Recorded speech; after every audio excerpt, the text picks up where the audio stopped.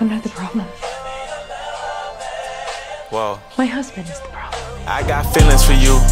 Hope you ain't loving the crew. How many bodies you got? Pray it ain't more than a few. Know that you dealt with some lames when you was young and in school. He had to pop your chair, but I got it wet like a pool. She got a new G-Wag, she wanna hit highlight room and show it off. Got a new body, girl, show it off.